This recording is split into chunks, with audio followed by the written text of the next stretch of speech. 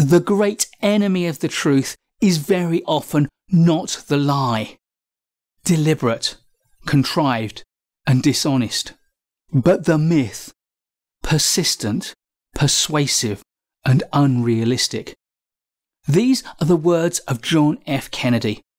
And I think they hold a very important truth for us as project managers. And in this short video, I want to explain why.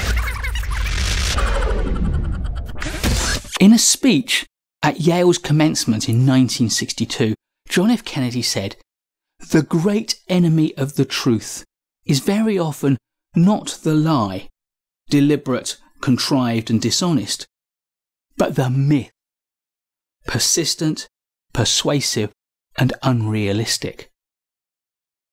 And I think that's somewhat ironic, given the fact that Kennedy's life, and in particular the circumstances around his death, are subject to perhaps more myths than any other leading figure of the 20th century.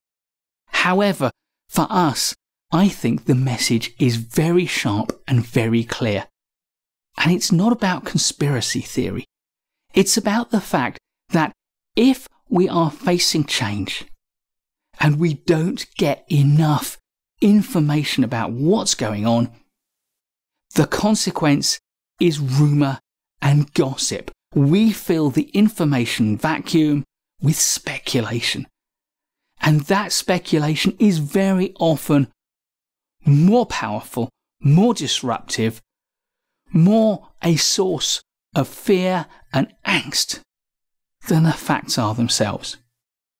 And I'm not saying, by the way, that if people nothing to speculate about, if they had 100% knowledge, they wouldn't resist. Of course, there will always be things that cause people to resist in times of change. But by not providing enough information, you stoke up the flames of resistance. As a result, as project managers, a huge and vital part of our role is to communicate, to give people the information.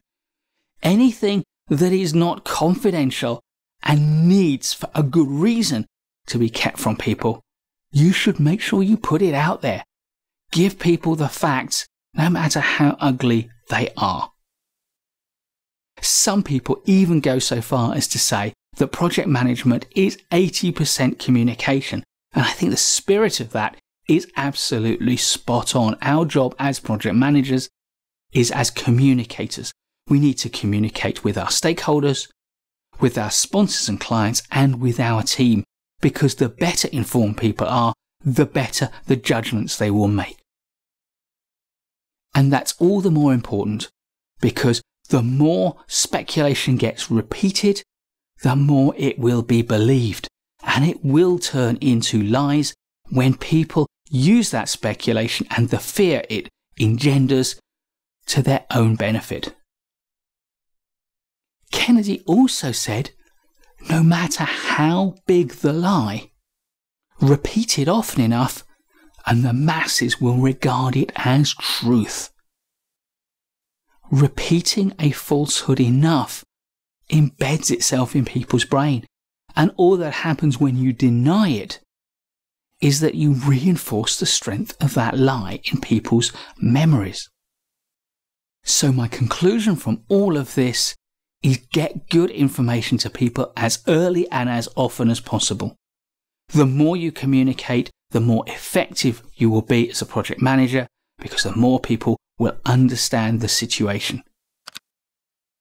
As a result, my advice is to communicate as much as you possibly can.